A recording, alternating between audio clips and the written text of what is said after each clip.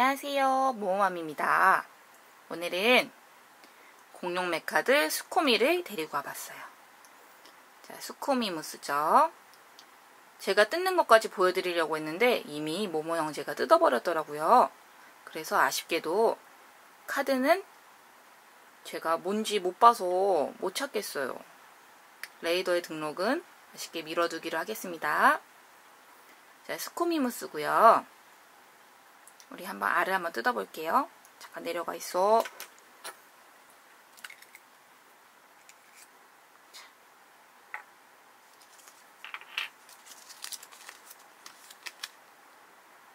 자 보시면 발차기의 제왕 공룡 튼튼한 다리로 화려한 발차기를 선보인다. 과묵하여 울음소리도 잘 내지 않지만 작은 소리나 냄새에도 민감하게 반응한다. 투박해 보이지만 항상 가장 뒤에서 타이니 수어들을 돌보는 맏형 같은 성격이다. 악어 같은 생김새에 수많은 이빨이 있으며 낮은 돛과 긴 다리가 특징이다. 앞발에 달린 긴 손톱으로 공격한다.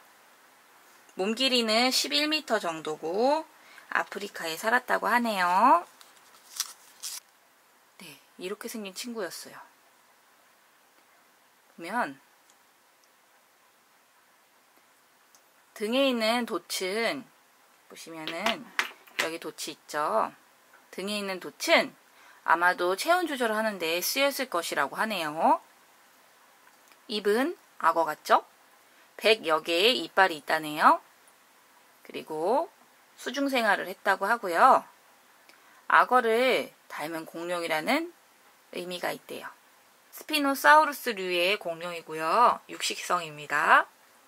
물고기를 주로 먹었을 거라고 추측하고 있네요. 오른쪽 다리 뒤쪽에 있죠.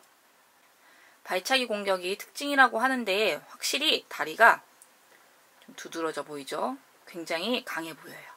자, 우리 변신하는 걸 보여드리고 싶어서 우리 아렌을 데리고 왔습니다. 아렌 띠리리리 자 뭐야 아이